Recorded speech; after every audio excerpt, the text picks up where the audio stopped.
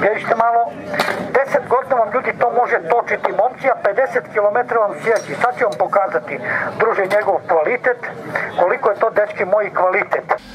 Majka grdi kćerku, kćerka nije kriva. Jelo se, pilo se, pokapalo se. Kako očistiti? Benzinom? Ne. Benzin služi za pokretanje kamiona, aviona i drugih prometala. Sapunom? Tako je. Ali kojim? Evo izvolite, kupite sapun koji čisti sve mrlje. Daj meni deset komada. Ne, možete dobiti samo jedan, jer i drugi moraju da kupe naš sapun. Ovo je poznata marketinška priča iz Sarajeva, ali nešto slično vidjeli smo jučer i u Vitezu. Istina, mnogo suvremenije i ubjedljivije.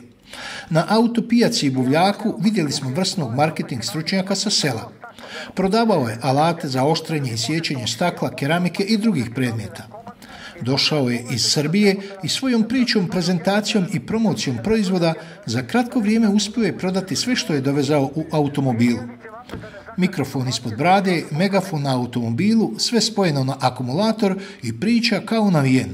Ali uz priču i pokazuje kako režu ili oštrije alati koje on prodaje. Ljudi općinjeni njegovom vještinom govora i prezentacijom samo su vadili novac iz novčanika i bez ikakve riječi i provjere kupovali oštrače za noževe, kose, satare. Toliko je bio ubjedljiv da nikome na pamet nije palo da provjeri što u stvari kupuje. Rijetko viđen uspješan marketing na buvljaku. Pogledajte video. Hoću probati zbog tebe. Da ne bi bilo ne da ovim radimo, drugi ti prodajemo. Mritlju moj. Tri put pritisni, jedan put lagano. Sve uštećeno, zadebljeno, uništeno, ide dole ljudi i u sekundi, gospodo, dobijate prijak. Samo da probamo za staklo. Hoćete probaš ti za staklo, dečko? Hoćete probaš? Odvamo. Odite ljudi, probajte, dečki, ne morate momci da kupujete. Izvoli, druže, vaša mašina. 10, 20, 30, 1, 40, izvoli dečko. 10 markica, ljudi, 5 eura, momci 40 kuna. Daj samo se proba. Daj samo se proba, gospodine. Ako imate ljudi tupe noževe, dečki, kosice, dajte danas ljudi da vam nabrusimo dečki besplatno. Ovoga momci gledate samo danas i toga više momci nemate. Profesionalno toči nože, toči kose, dečko, kosi trave, dečko, brije, momci, livade, prijatelji u samo sekundici. Izvoli gospodine, hvala najljepše živeli. Za keramičke pločice, momci, ako radimo, gradimo, popravljamo, adaptiramo ili želimo momci druge adaptacije. Reži i toči, prijatelju moji, klepaj, otkivaj, razbivaj. Dakle, dovoljno je samo jedna sekunda, momak, dovoljno je samo da ga pipnete. Ovdje točite noži kose, gospodine, satare, sjekire, motike, to mi je samo za makeo sam provat kako došli, gospodine. Pogledajte, druže. Najtoplije noževe ljudi koji ima građani kosice. Ovakve noževe ljudi što nikada nismo sanjali. Pipnite malo zemljače da vidite o čemu se radi. Slobodno, slobodno prika, pri, pri, pogled. Dakle, nož samo držimo dečko ovako, na drug način nemojte. Oštrimo svega, pozadije je samo za škare, za makaze. Nož držimo, oštrimo, idemo lagano ovako.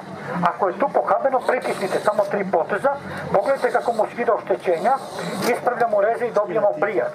Dakle, najtuplji nož, najtuplja kosica, ko šta ima, danas oštrimo prijatelji besplatno i poslednji komadi dečki danas na akciji, momci, upoznajte se samo danas, jer toga više momci nemate da znate. Gospodine, slobodno ne trebate kupovati prijatelju, pogledajte šta je mašina, druže. 10 godina prijatelju može da oštri, a 50 km da sjeće, pogledajte, druže. Da ne bi bilo da majstori što im radu, drugi reklamiraju, prodaju.